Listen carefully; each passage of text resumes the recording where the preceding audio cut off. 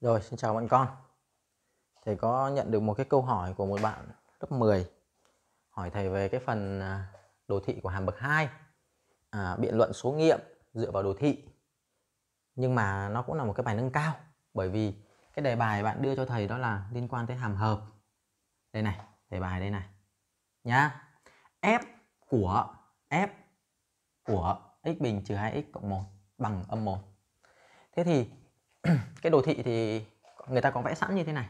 Là một cái parabol, có bề lõm quay lên trên, trục đối xứng là một, cắt tại à, âm 1 là cắt với trục OI thế cắt OX tại hai điểm, hai bên như thế này.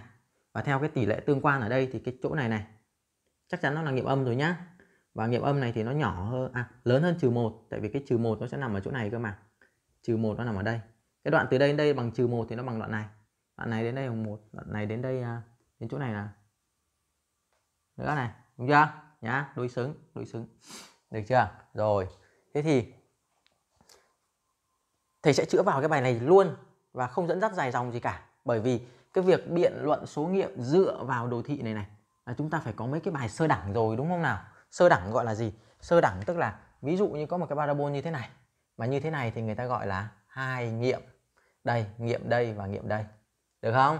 Thế còn như thế này thì người ta gọi là không nghiệm tức là nó không cắt thì nó vô nghiệm. Được không nào? Thế và khi nó cắt thế này rồi mà chúng ta à, gắn nó vào hệ trục chẳng hạn. Ví dụ à, thầy nói rằng chúng ta có một cái hệ trục như này đi.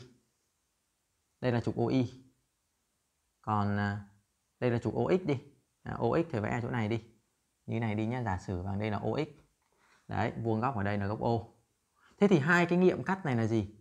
Thì nghiệm cắt này thầy gọi là x2 thì ta phải gióng xuống đây ta tìm x2 cho thầy từ đây ta gióng xuống đây ta tìm cho thầy x1 là ta phải tìm được ta phải nhìn được nó âm nó dương nó chỗ nào trên hình vẽ đúng không? Thì đấy gọi là những bài sơ đẳng nhá. Thế thì ở đây mình hiểu là gì? F của cái này thì bằng trừ một. Để, để thầy giảng cho bọn con hiểu cho nó dễ được không? Nào bây giờ f của x bình trừ 2x cộng 1 thế này đi mà bằng trừ 1 thì mình hiểu trong đầu của mình là gì? Ft bằng trừ 1 t là cái gì? T là cả cái bên trong ngoặc này này, nhá. T là cả cái này, thầy mô tả cho bọn con hiểu. Tất nhiên là khi mà bọn con nó hỏi thầy những bài như này, tức là bọn con cũng phải có kiến thức một chút rồi, thì thầy cứ việc giảng thôi, đúng không?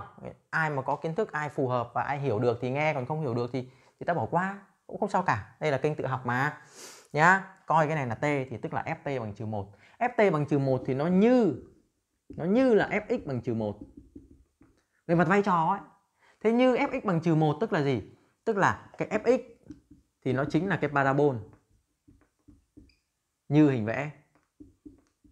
Thế còn cái trừ một là gì? Cái trừ một, ý nghĩa của nó chính là cái đường thẳng. Chính là cái đường thẳng mà y bằng trừ một. Mà cái thằng này thì nó song song với OX. Đấy, y bằng trừ một. Thế như vậy là mình, bây giờ mình sẽ làm gì? Mình sẽ phải à, vẽ cái đường y bằng trừ một và cho cắt vào đồ thị parabol P.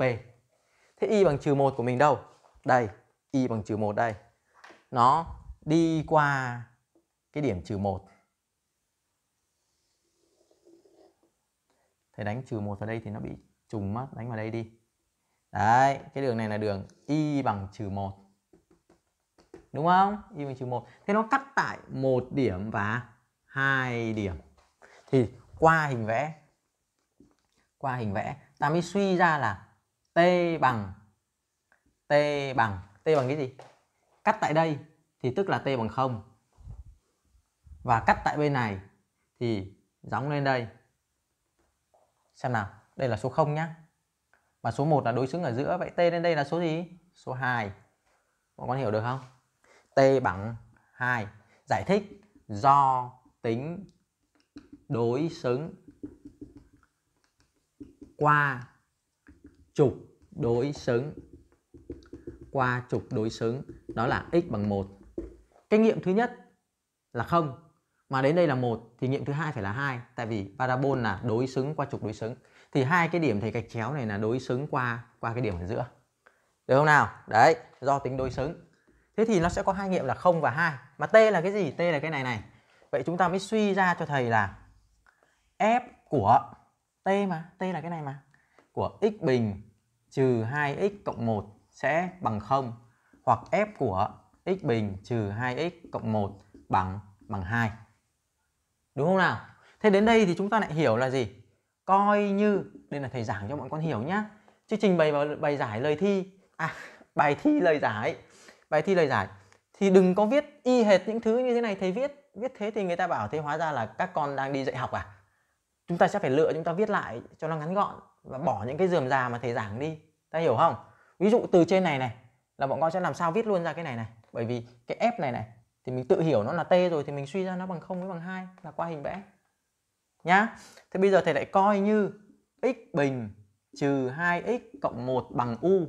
Thì chúng ta lại có cái bài là fu bằng 0 và fu bằng 2.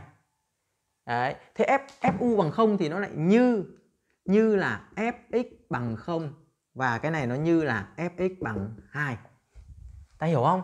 Tại vì ta cứ phải đưa về fx thì ta mới dùng cái đề bài fx được mà. Thế nhưng mà fu thì nó cũng như fx thôi mà. Thì việc là fx thì ta suy ra x, còn fu thì ta suy ra u. Thế thôi nhá. Thế bây giờ mình mới lại tiếp tục làm gì? Vẽ đường y bằng 0 và y bằng 2.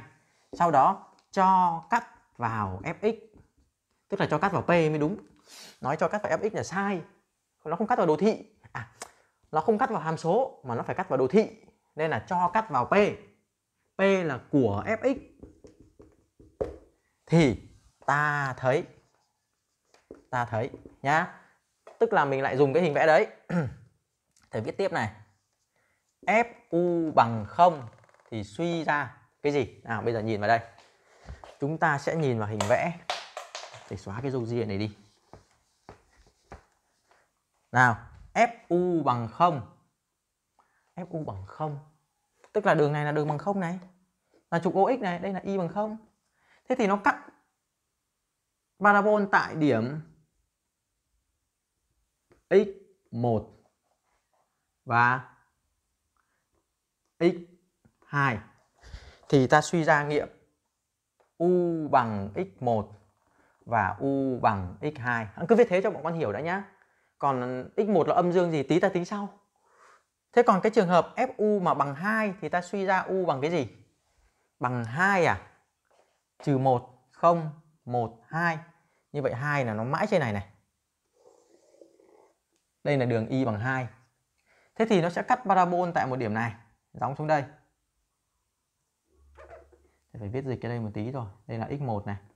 Đây là x3 nhá. Và cắt tại chỗ này, đóng xuống đây. Đây là x4.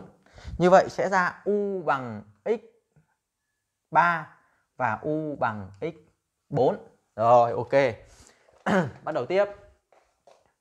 Thế mà u là cái gì? U là cái gì? U lại chính là cái biểu thức bên trong ngoặc cái này. Đây này, U là cái này này. Mà U thì bằng x bình phương trừ 2x cộng 1. Tất nhiên người ta cho ta cái này cho nó dễ mà. Nhá. Chứ còn ờ, người ta cho cái biểu thức U này mà phức tạp đi thì làm bài nó phức tạp. Tại sao thầy nói rằng cái này nó dễ? Tại vì U bằng x bình trừ 2x cộng 1 thì nó chính là bằng x trừ 1 bình phương. Vậy nó sẽ lớn hơn bằng 0. Đấy, như vậy là u của mình lớn hơn bằng 0. Thế thì u bằng x1 có được không? x1 có được không? Không được.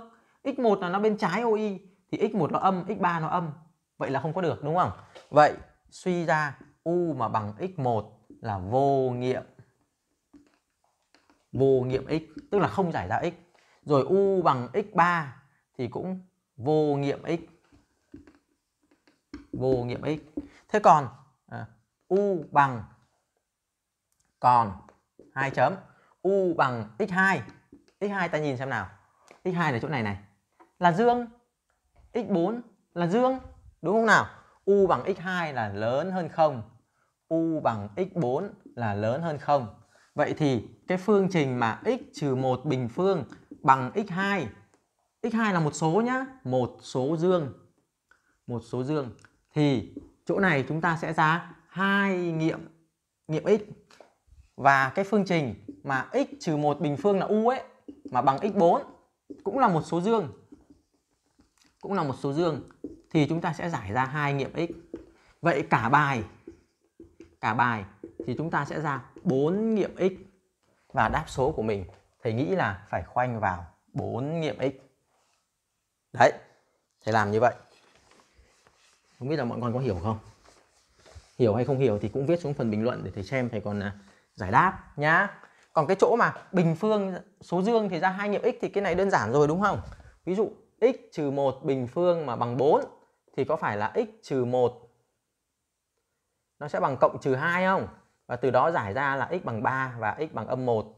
Thế thì nó ra hai nghiệm còn gì nữa. Còn nếu mà x trừ 1 bình phương mà nó ra số 3 chẳng hạn thì ở đây x trừ 1 sẽ bằng cộng trừ căn 3.